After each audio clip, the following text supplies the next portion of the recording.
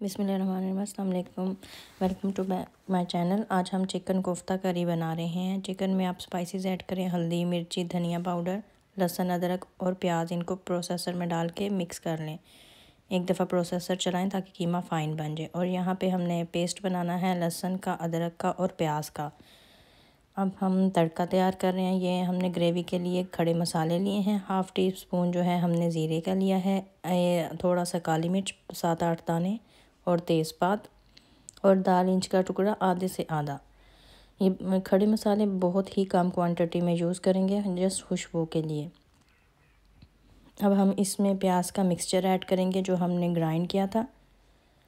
और अब हम करी का दूसरा मिक्सचर तैयार करते हैं, जिसमें टमाटर है, सब्ज़ मिर्च है और दही का एक चम्मच है।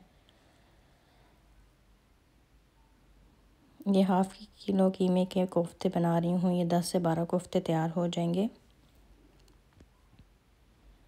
अब हम अच्छी तरह से अपने मसाले को भून लेंगे प्याज वाले को और फिर हम दही और टमाटर का मिक्सचर ऐड करके इसको अच्छी तरह से भून लेंगे।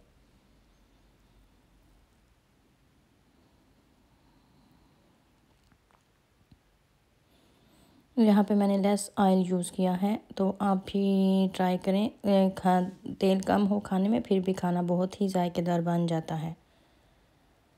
और ये इंस्टेंट कोफ्ता करी है। आप रमज़ान में अगर आपके पास टाइम कम है अफ्तारी में तो ये जल्दी से क्विक रेसिपी है। इस तरह बनाई ये बहुत ही सॉफ्ट जूसी और मज़े के कोफ्ता करी बन के तैयार होते हैं। अब हम इसमें हाफ़ इंच जो है वो डालेंगे पिंच हल्दी का और आधा टेबल स्पून जो है वो हम मिर्च डालेंगे। और जो क्वार्टर टेबल स्पून है वो हम डालेंगे ज़ीरे का। इन सबको हम अच्छी तरह से पका लेंगे। एक अच्छी सा जो पेस्ट है हमारे पास बन के आए। कोफ्ते की करिए आप जितना अच्छा इसको भूनेंगे, ये उतनी ही ज़्यादा अच्छी और मज़ेदार बनेगी। इसका जो मसाला है, आपको उसमें भी एक फ़्लेवर ऐड करना होता है, क्योंकि कीमे में कोई बोन नहीं होती तो इसलिए उसकी जो ग्रेवी है, इसमें हम थोड़ा सा ऐड करेंगे चिकन क्यूब चिकन पाउडर या आपके पास कोई यखनी है तो वो भी ऐड कर सकते हैं। तो मेरे पास अभी चिकन क्यूब थी तो वो मैं इसमें ऐड कर रही हूँ क्वार्टर जो है हाफ़ से हाफ़ मैं उसका डालूँगी।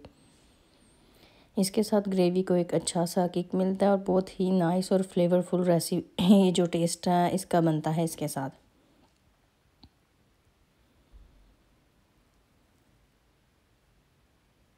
जो कोफ्ते हैं, उसमें मैंने बाइंडिंग के लिए ना तो एग मिलाया, ना ब्रेड क्रम मिलाए हैं और ना ही बेसन। बस खाली कीमा और स्पाइसेस हैं। आप उसको ऐसे कोफ्ते की शेप दें और बॉइलिंग होते हुए ग्रेवी में ऐड कर दें। ये बिल्कुल भी ख़राब नहीं होंगे, ना ही टूटेंगे।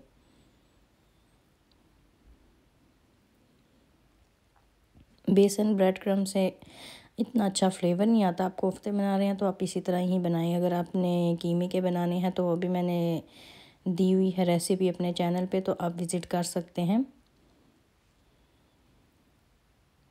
ये बहुत ही मज़े के बन के आते हैं और प्लीज़ अगर आप मेरे चैनल पर नहीं हैं तो प्लीज़ लाइक करें, शेयर करें, कमेंट करें और सब्सक्राइब करें। Thank you.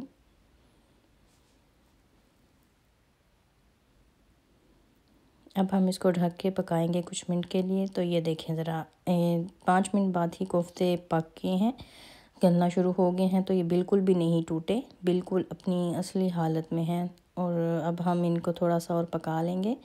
ताकि जो हमारी करी है वो भी थोड़ी सी गाढ़ी हो जाए। ये आप पे डिपेंड करता है, अगर आपने ग्रेवी पतली रखनी है, मीडियम कैसी रखनी है तो आप उसको उस हिसाब से एडजस्ट कर सकते हैं। तो मैं मीडियम करी रखूँगी, ना ज़्यादा ड्राई, ना ज़्यादा पतली। तो इसलिए ये देखें मैं आपको कोफ्ते दिखा रही हूँ कि ये बिल्कुल भी नहीं टूटे और कितनी अच्छी हालत में हमारे कोफ्ता करी जो है तैयार हो गई है। और इसका जो हाली कोफ्त में फ्लेवर नहीं है, इसकी जो करी है, वो भी इस तरह बहुत ही मज़े की बन के आती है। और लास्ट में हम इसमें कसूरी मेथी ऐड करेंगे और हाफ़ टेबल स्पून जो है वो गरम मसाले का पाउडर और हम इसको ढक के रख देंगे ताकि जो हमारा थोड़ा सा आयल है वो ऊपर आ जाए। और फिर हम इसको सर्व करेंगे। और इसी के साथ ही आने वाला रमज़ान आपके लिए रहमतों वाला महीना है और आपके घर में बहुत सी रहमतें नाजिल हों और सब लोग दुआएँ करेंगे हर एक के लिए अल्लाह ताला हमारे पाकिस्तान के भी हालात बेहतर करे। और इसी तरह इसी के साथ अब तक के लिए खुदा हाफिज़। नई वीडियो में मिलते हैं नई रेसिपी के साथ।